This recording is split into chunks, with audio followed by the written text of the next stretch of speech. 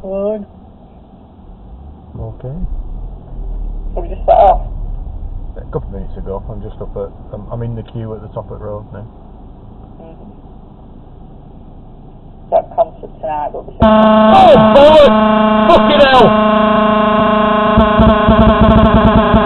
Fucking hell!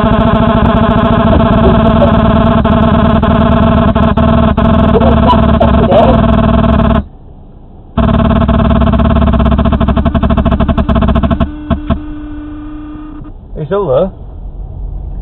So you're just gonna have to take it in and say you sort it out because I'm not having it back. it's dangerous now. Oh, fucking fright the life out of me that. I'm glad I was off. right,